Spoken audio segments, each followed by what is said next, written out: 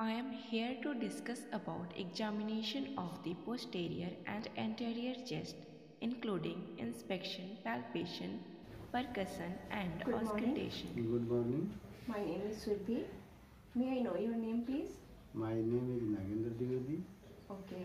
I'm here today to do your lung examination. Do you have any kind of pain anywhere at all? No, Do you have any question regarding examination? No. Okay, so we are going to proceed then.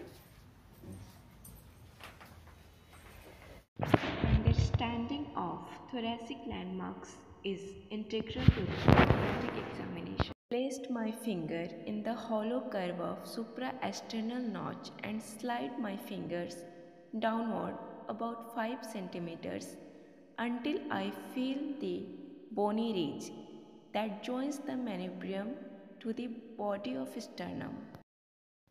Moved my fingers laterally and find the adjacent second rib and costal cartilage using two finger swab down the interspaces one space at a time on an oblique line.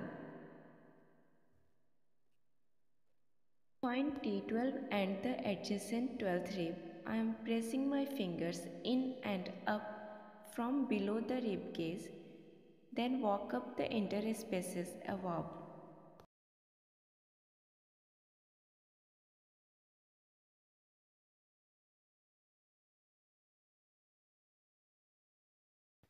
Finding prominent spinous process which is usually at C7, feel and count from C7 to T12. By eliciting the patient's concerns before the examination, I prepare for an examination that is efficient and productive.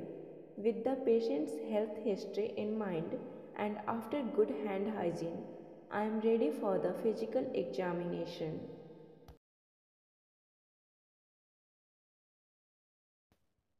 I note the shape of the chest and how it moves, thorax symmetry, any bony deformities.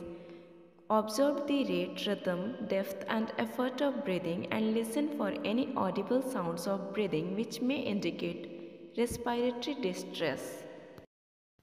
Listening and counting the number of breaths per minute. Normally, a resting adult breathes easily quietly and regularly, about 14 to 20 times a minute.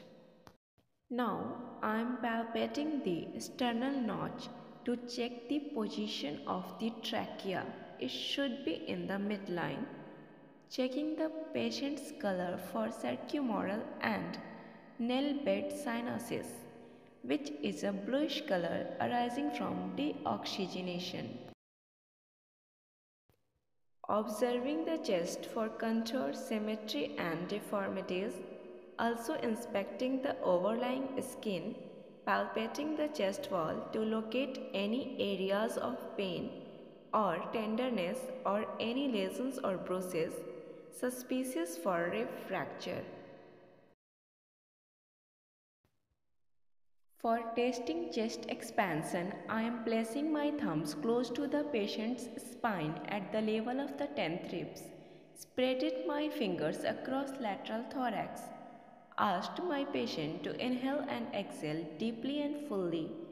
I watched the divergence of my thumbs, which normally about 2 centimeter.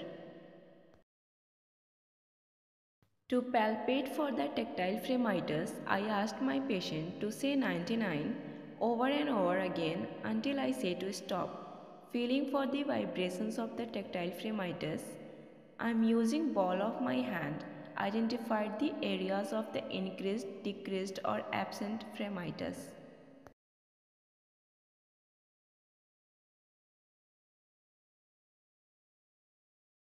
Here, percussing the chest in systematic manner, moving down to the thorax and going from side to side as demonstrated in a ladder pattern.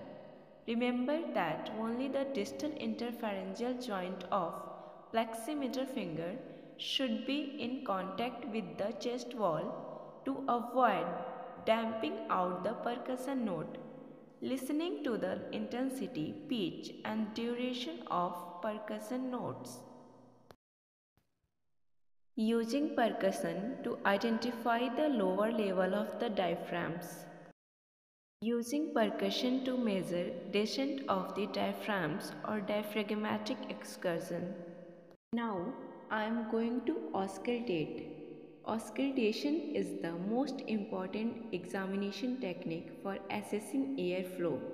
It involves listening to the sounds generated by breathing, listening for any adventitious or added sounds and using diaphragm of the stethoscope to auscultate posterior thorax.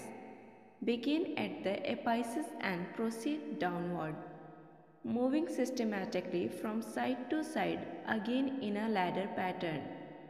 Comparing breath sounds in symmetrical areas, listening to the duration, pitch, and intensity of the inspiratory and expiratory sounds.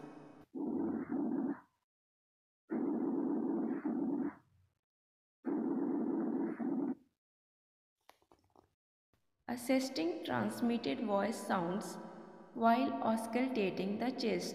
Again, ask the patient to say 99. Normally, sound through chest wall are muffled and indistinct louder sounds are called bronchophony. Test for egophony. Ask to patient say E. Normally I will hear a muffled long E sound if the underlying tissue is consolidated, E sound changes to A and quality. I ask the patient to whisper 1, 2, 3. Whispered voice is usually heard faintly or indistinctly. If clearer, louder sounds suggest underlying consolidation. Patient should lie supine and breathe normally, observing the condition of the skin and inspecting the chest for deformities, asymmetry and respiratory movement, palpating the chest to locate any areas of tenderness.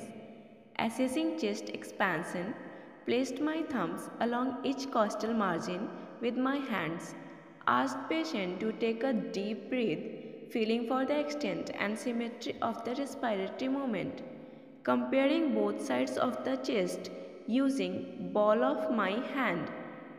Fremitus is usually decreased or absent. Percuss the anterior chest and lateral chest. The heart usually produces an area of dullness to the left of the sternum from the third to the fifth interspaces. As I percuss down the chest, Usually, one of the left resonance of normal lung changes to the tympany of the gastric air bubble.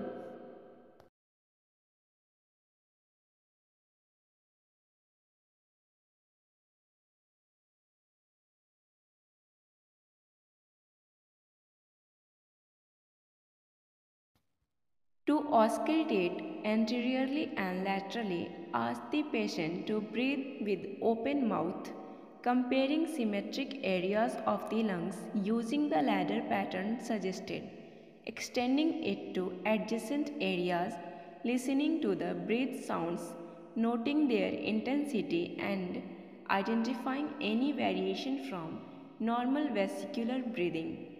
Note that breathing sounds are usually louder in the upper anterior lung fields.